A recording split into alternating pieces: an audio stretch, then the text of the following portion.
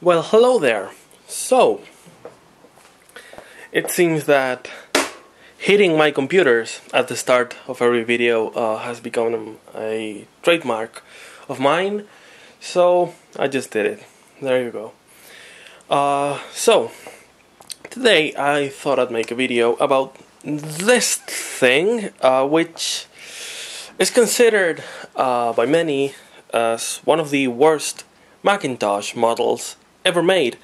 Uh, that is the Macintosh uh, Performa 6320.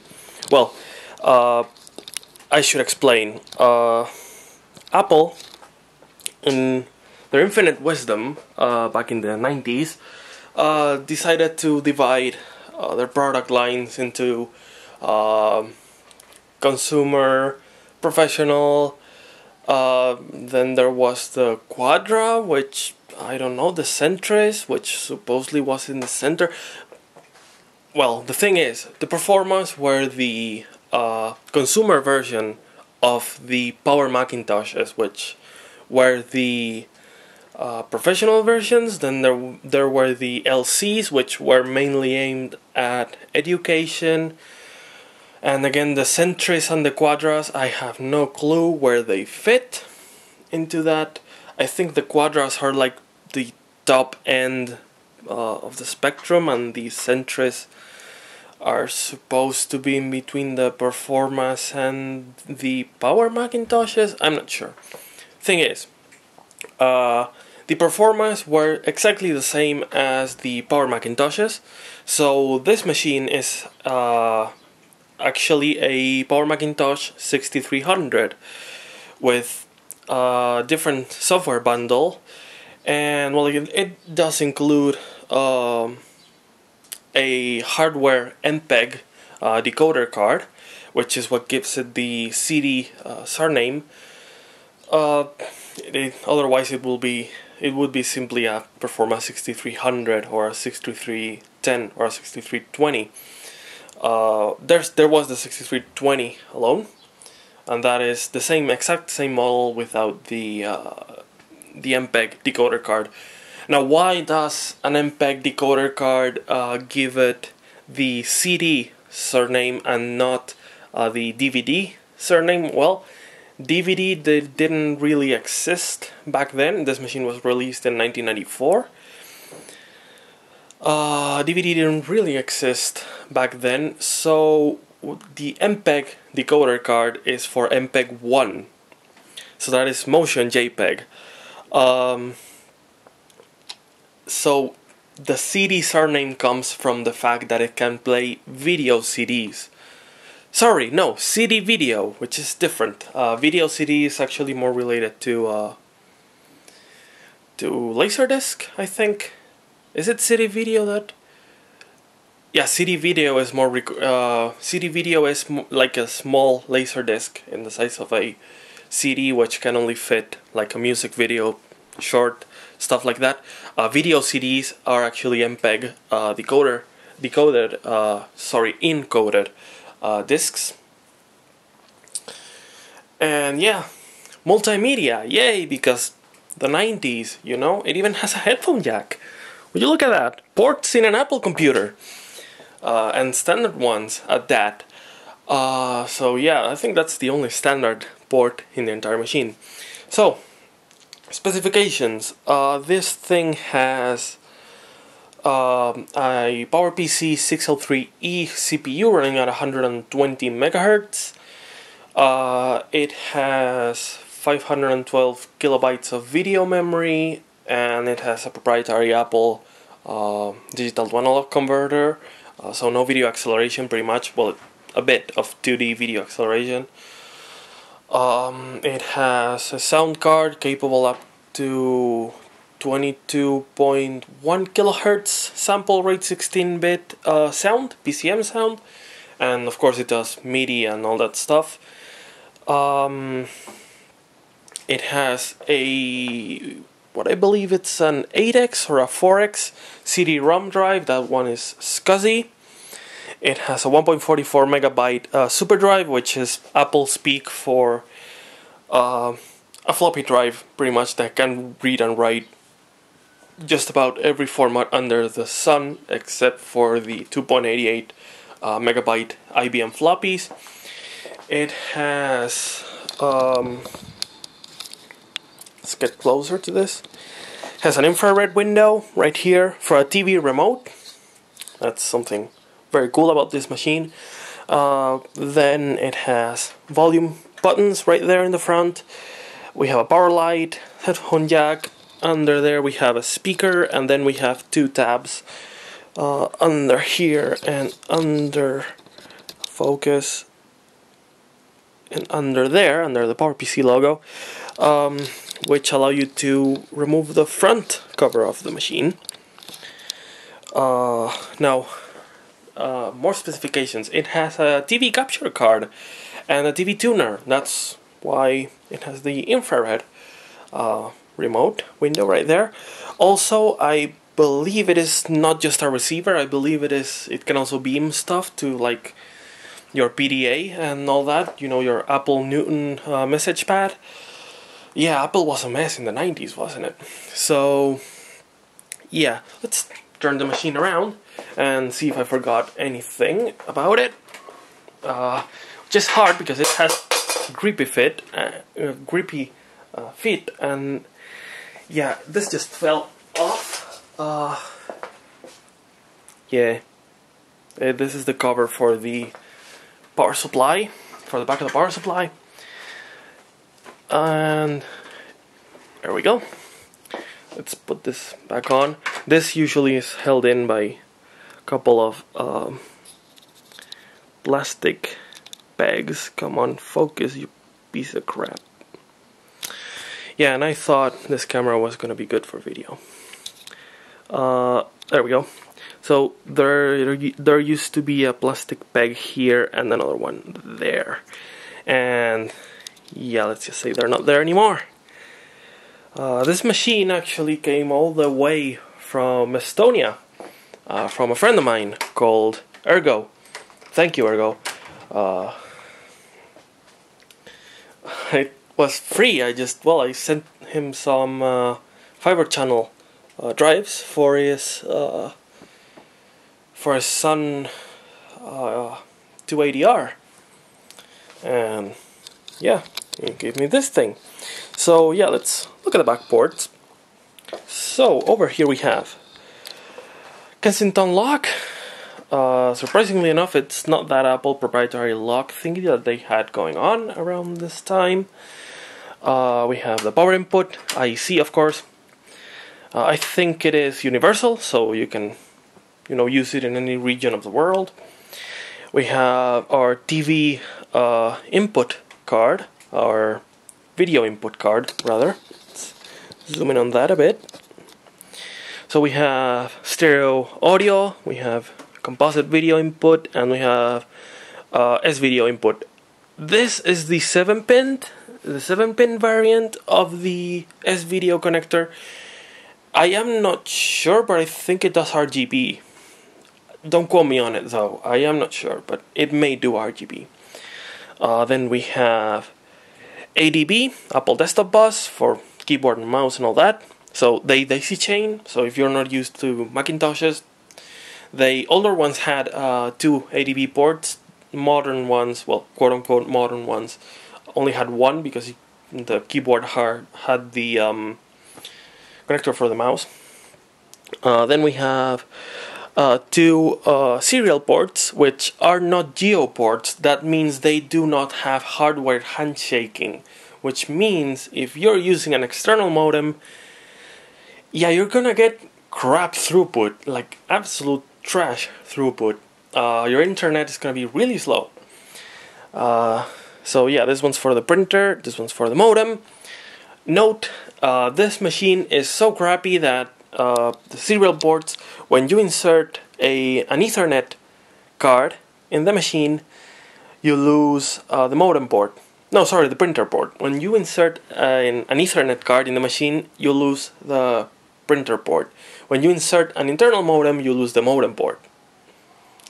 Great Apple engineering right there. Uh, then we have our TV tuner expansion right there. Very nice. Uh, of course, these days it's absolutely useless because it is analog, and so you have to use a a digital converter box and hook it up to either the composite uh, video inputs or use an RF modulator, an old VCR, something like that, to feed it to the analog. I mean, you can still watch TV if you really want to.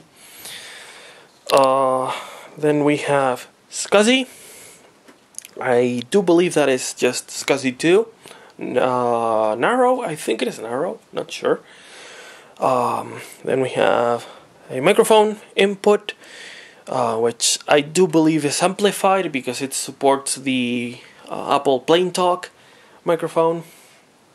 We have a line output, uh, which is variable level in software. Nice. We have an expansion uh, cover for the PDS slot. I do believe it is for the PDS. Uh, then we have another cover. This one is for the PDS too. I think there's two types of. Oh, right, right, right. This case is actually um, actually fit uh, a ton of computers, a ton of different computers. So this has an LC LCPDS slot, which has cards that connect directly into the slot and uh, feed out the ports through here. This this case, I believe, was used in the Quadra 610. I think it is the Quadra 610. I'm not sure. It's a different machine uh, that came before it. Not sure which one it is.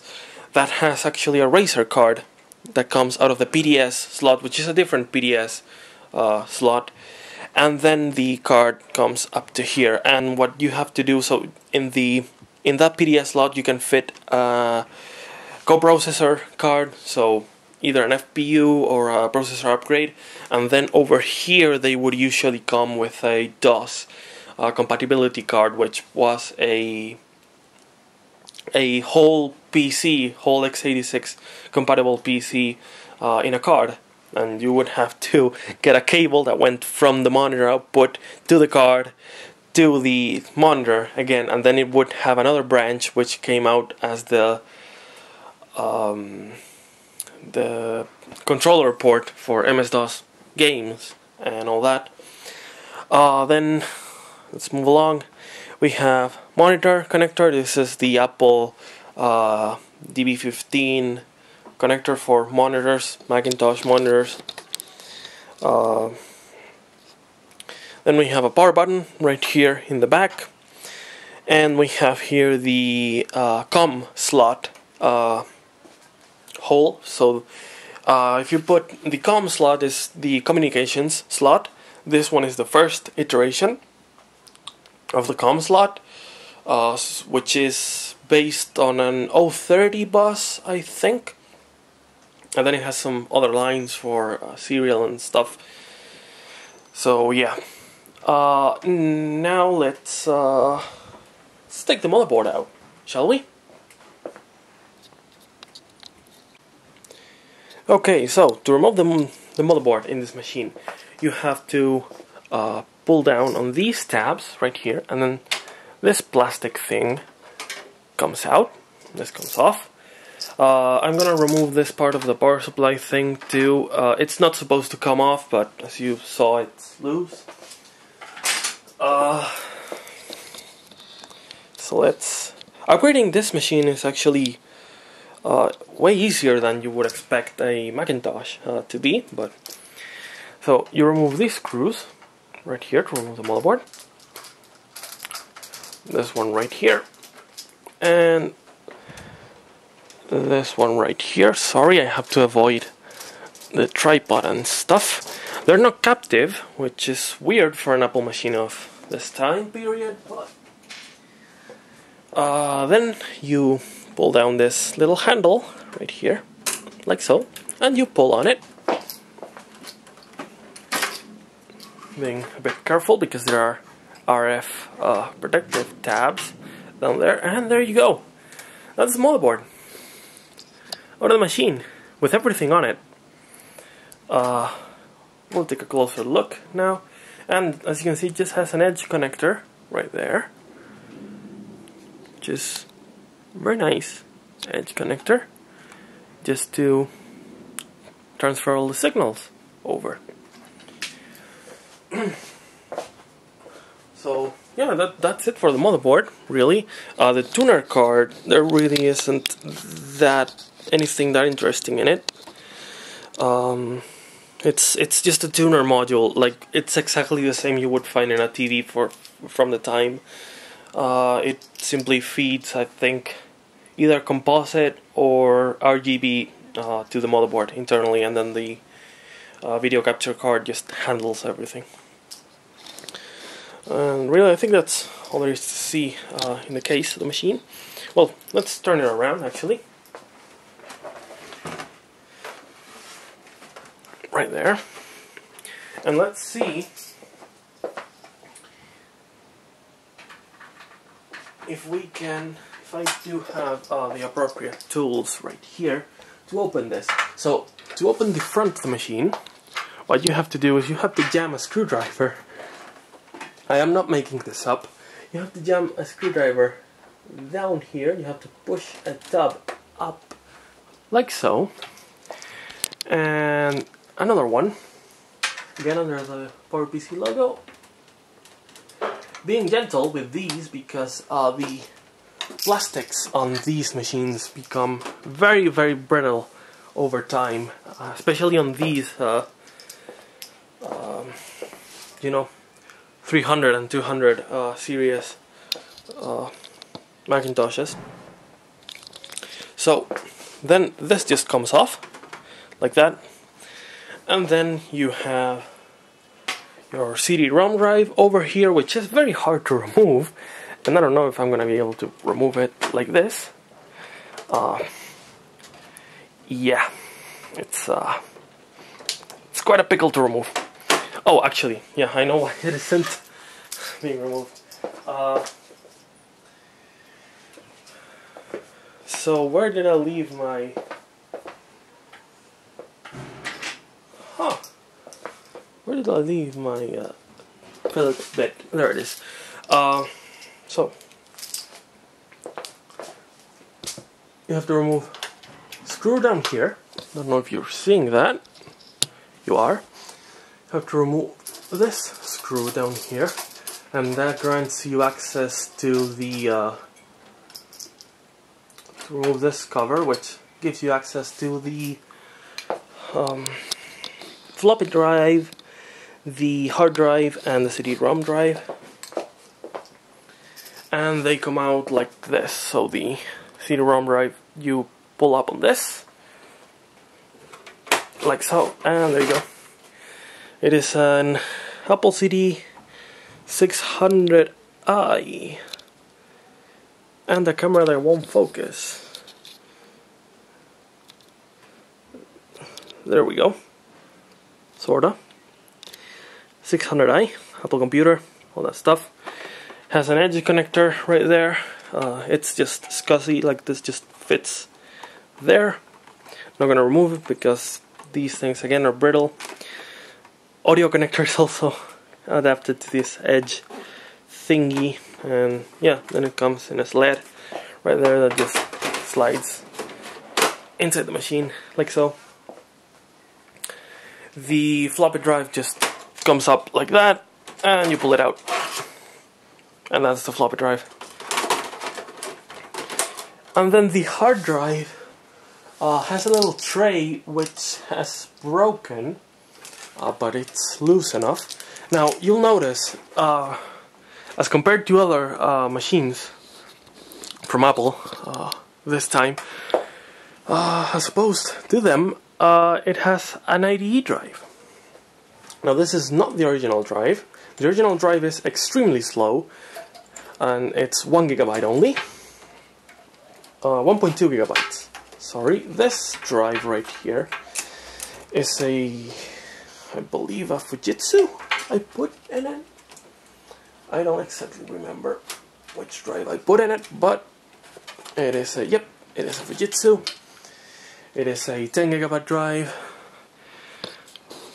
and without uh, well sorry using uh, sorry without uh, the uh, modified version sorry of the um, Apple uh, disk format utility, uh, you cannot use third-party drives. So, yeah, I had to use a patched version of that, of Disk Tools, I think it's called.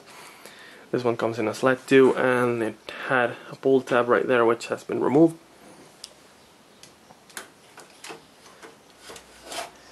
So yeah, it's as you can see the machine itself is really easy to upgrade and to service. It's it's really weird uh, to see an Apple uh, computer so easy to, you know, being so easy to service and to maintain and all that. This was a breeze.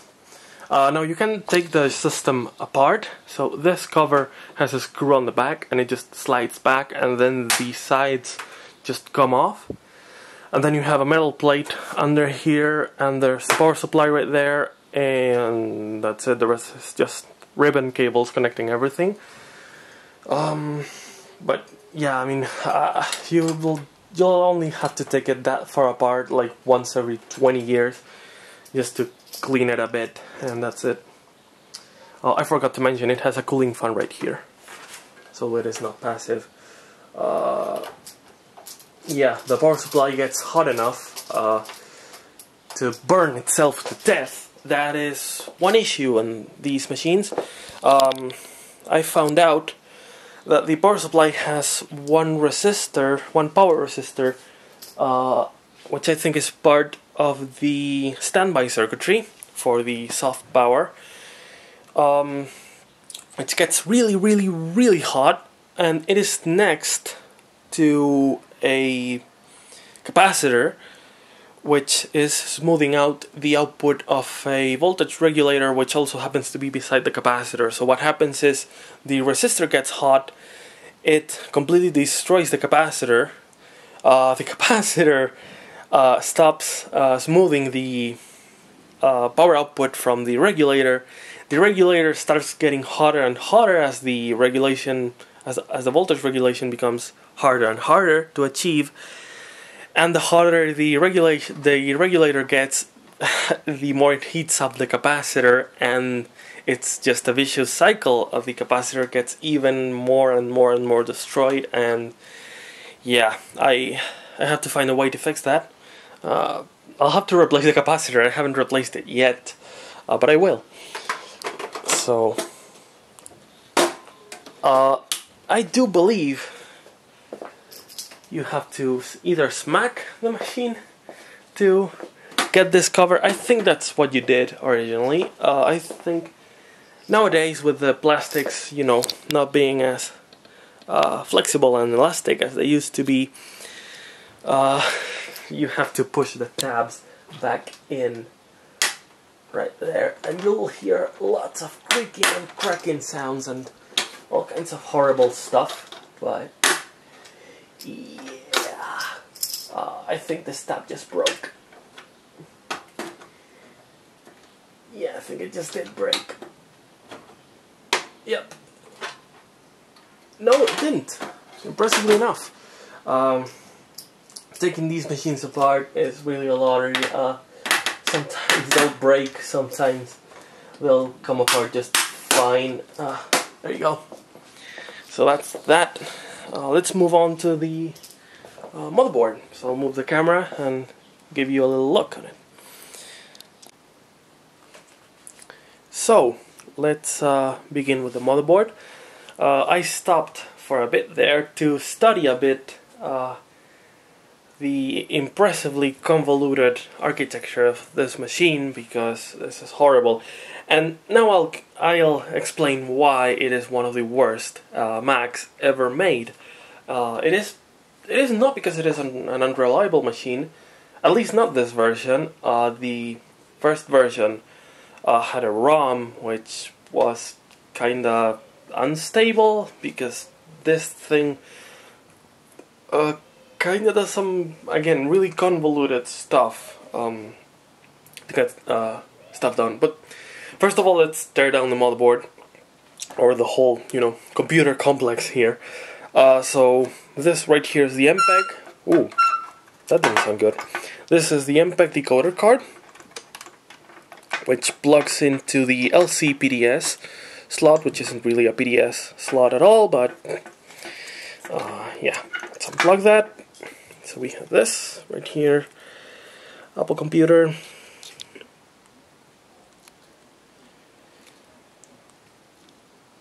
Yeah, there must be something wrong with the focus on my camera. I do not think this can, can be that bad from the factory, but yeah. Uh, again, it has a Texas Instruments DSP right there. It has this C-Cube uh, MPEG decoder, and then it has the LCPDS uh, connector right there. Then it has this connector right here, which I believe transfers uh, video over to the video capture card of the um, uh, component. I think the topology does seem to indicate that it does. So on the motherboard we have the COM slot, we have the PDS right there which is an LC PDS, a normal PDS is just this part right here, then it has this extension which indicates it's an LC PDS. Uh, we have this ribbon cable which goes up to the uh, video capture board right there which I'm gonna remove you need to remove a screw in the back panel to remove the video capture board. So you remove this screw right here.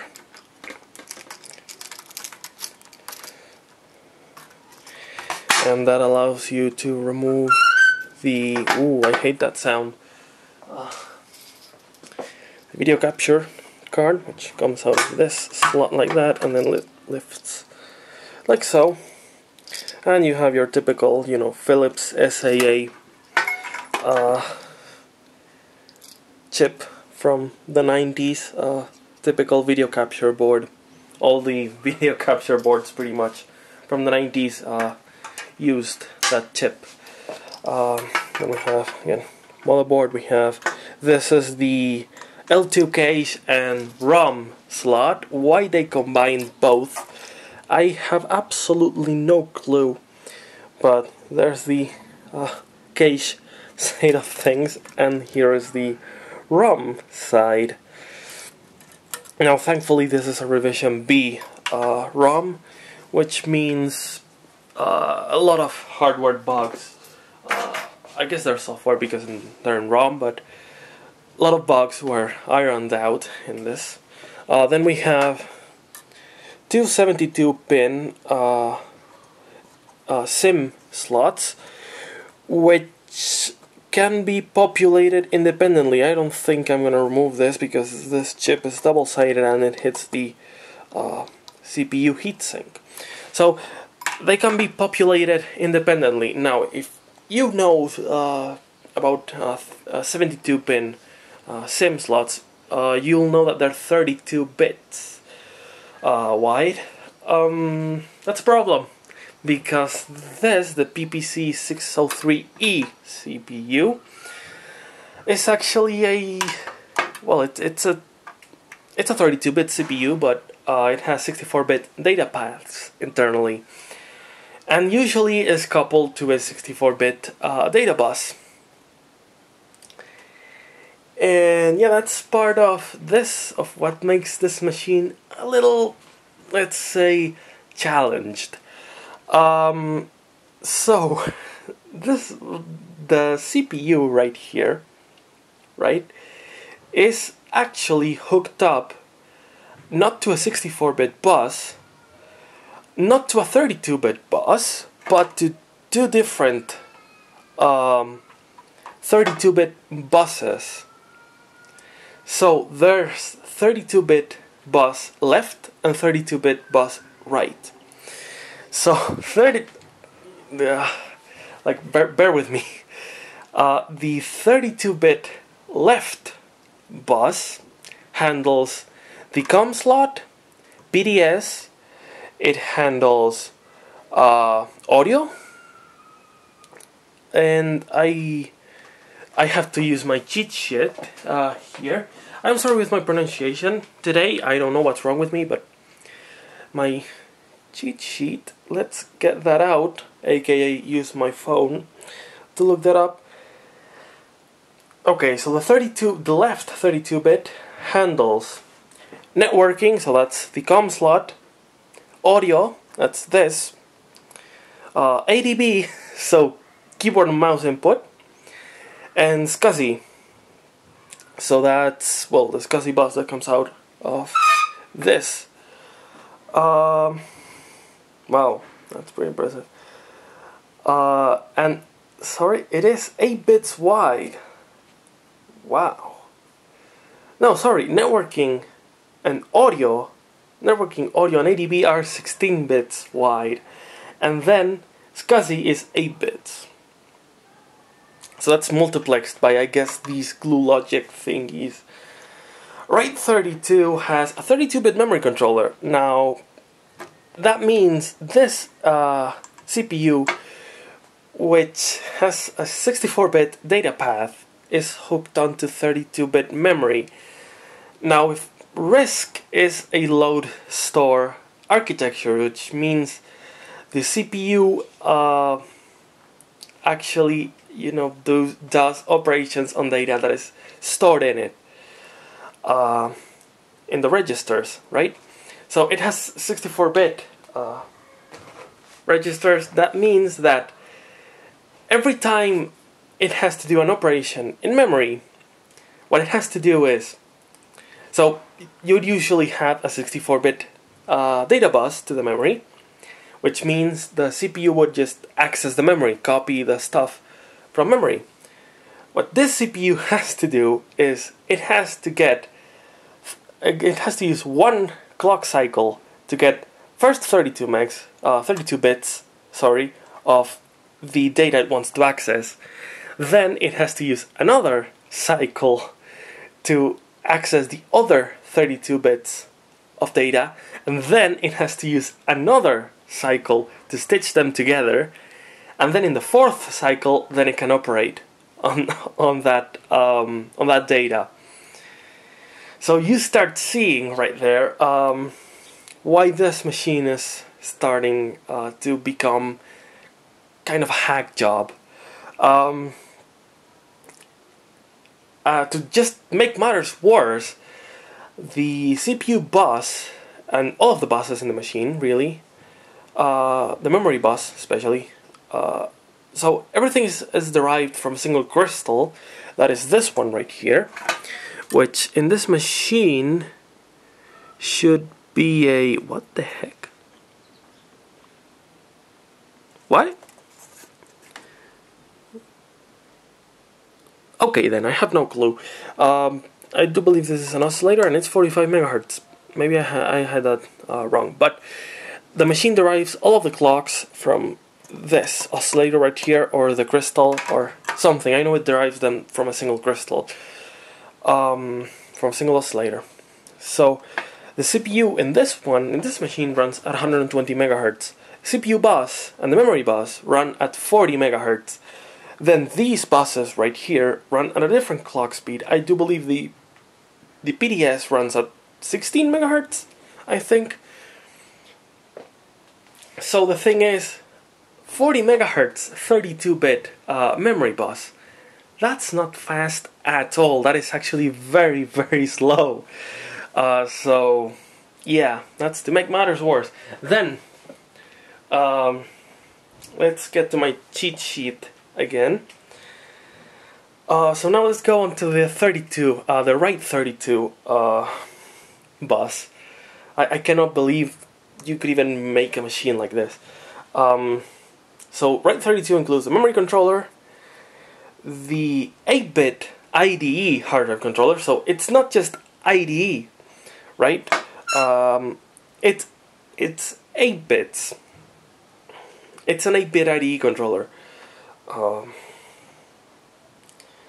okay, video is also done uh, by the no video as in that video as in monitor is also done by RAID 32 and then the TV controller this video so the capture card is again done right from RAID 32 so that's something else so, like, I mean, both uh, both buses converge on the CPU.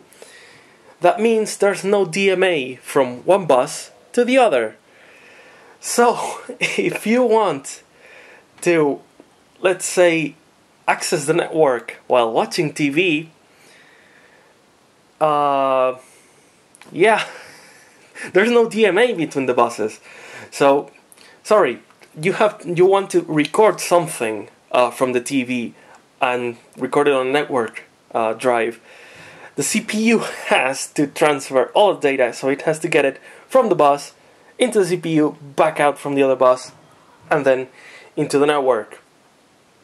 Yeah. Uh, so the multiplexing, I do. I am not sure about how the multiplexing on this machine works. Like, there's apart from the the two 32-bit buses, then a lot of more buses come out of those, right? And I have no clue how this all works, but I'm like I'm sorry for that, but it seems that when you are moving the mouse or you're typing on the keyboard, uh, the data that comes from there doesn't allow like data from the CPU to go to the sound hardware, so sound gets choppy if you type too fast. Um, hard drive, the hard drive is on the same bus, it's multiplexed on the same bus as the TV uh, controller and the capture card. So when you're capturing video, the hard drive cannot by any means keep up uh, with the video you're capturing. So it, no matter what the resolution you set, no matter what the compression settings are, uh, no matter if you have a an MPEG hardware decoder card, no matter the speed of your CPU, no matter the amount of RAM, you will never be able to record at a decent frame rate. So you can watch TV at here over here in Europe it's 50 uh, fields a second, so 25 frames a second, and in NTSC it'll be 30 or 29.997 or whatever it is. But uh, you will not be able to record uh, TV at the actual frame rate uh, you're watching it at. Um, so my, my battery just ran out. So uh, for me, about uh, 15 minutes passed, but for you, nothing passed. So yeah, um, that's the issue with this machine. You can do uh, things at like one thing at once, like you can access the network, or you can watch TV, or you can uh, watch videos, you can, I don't know, play a video game at once. But if you're accessing the network, for example, and you're trying to, like, say, play music from the network, it's not gonna work. Uh, you want to play a video from the network, not gonna work. Want to, I don't know, stream something to the network uh, that's not just a file, so like audio or something that comes from the CPU. It's not gonna work, it's gonna be very slow. Uh, anything that requires real-time performance, uh, apart from CD playing, because that's done uh, by the uh, CD drive itself, the CD decoding, um, anything that, or I don't know, video, watching video, uh, yeah, MPEG video can be done thanks to the hardware MPEG decoder. Uh, but anything else that requires real-time uh, processing, even music uh, played by the system itself, not gonna work really. So the music stops if you type too fast on the machine. Uh, this even happens in video games. Uh, even with MIDI, if you are pressing the controls too fast and you're setting too you're sending too many characters to the machine, uh, the MIDI music will will hang. You'll have hanging notes and all that kind of stuff. So yeah, this machine, uh, it's I guess all right for using it as a CD player, or as a TV, or as a multimedia device in general. It's okay. It's an okay machine if you want to record um, TV, forget forget about it. Want to record video, forget about it completely. Um, you're so if if you looked at this machine and said, "Oh, it has composite composite input," it's really gonna come in handy uh, for you know digitizing my VHS tapes or or my Hi8 tapes. Uh, you know because it has this video, so you can do some. You could theoretically do some really good um, video uh, digitization of this on this machine. Nope, not really. Uh, get yourself a different machine. Uh, I uh, I thought this machine would replace my current uh, video digitizing machine, which is a Power Macintosh G3, which I've already shown, um, which is a uh, it's a beige Power Macintosh G3, which has been upgraded with a G4 CPU, and it has tons of other upgrades. Uh, I thought this machine could replace it, so I could free up a PCI slot in the G3 because it has a capture card in it not the case. Um, not the case at all. So yeah, this is a really slow machine uh, for anything computational on the internet. I've heard I haven't been able to connect to the internet yet. Um, I'm meaning I mean to uh, either set up a LocalTalk network at home so I can bridge um, my Power Macintosh G3, I can bridge this guy, this uh, Performa 6320 CD, and I can bridge a PowerBook 160 that I'm waiting for. I bought it, and I have to recap uh, the... And the battery is running out again. I have to, to recap the display. So, conclusion on this machine. Very, very slow. Uh, hopefully I'll make a different video, a separate video, uh, where I show um, capabilities of it. I'll show it booting up into macOS uh, 7.6, which is what I have installed in it, and I'll show you, well, the capabilities of the machine. And that's pretty much about it for this hardware tour. So, you know. Yeah.